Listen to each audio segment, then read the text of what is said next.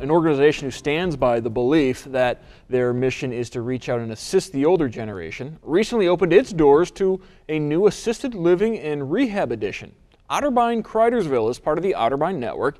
Jennifer gives us a tour of this new living space designed to feel like home away from home. And that marked the official opening of the newest assisted living and rehab center available in the Northwest Ohio region.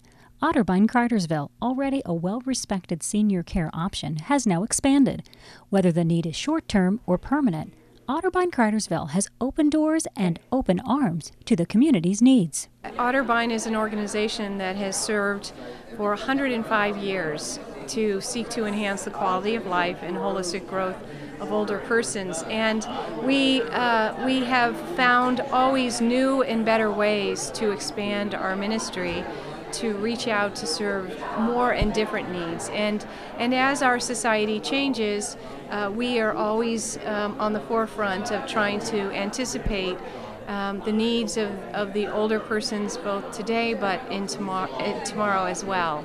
That desire to be on the forefront means 24 brand new assisted living suites and 17 short term rehab units designed around the concept of small housing. Meaning private suites, private bathrooms, two rooms for each resident, as well as an oversized kitchen, dining area, family room for all of the residents to enjoy.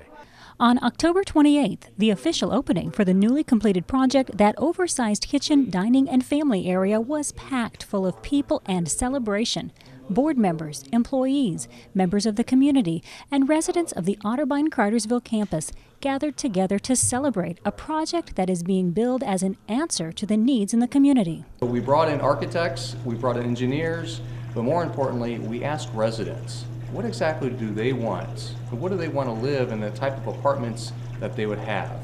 So it started in 2014, and then we started building at the end of 2015. And so it's, it's taken about a year-long process to have this building built. We believe that, that what we're doing is, is serving children of God and helping them to uh, stay in control of their lives and live the lives that God would have them live no matter what type of care and support is needed.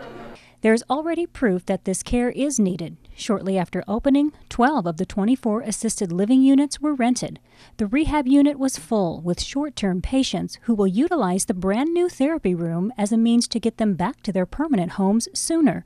It's a new home away from home, whether for a few months or for several years, a long term ministry organization's desire to continually give back to the community and make the community a better place to live.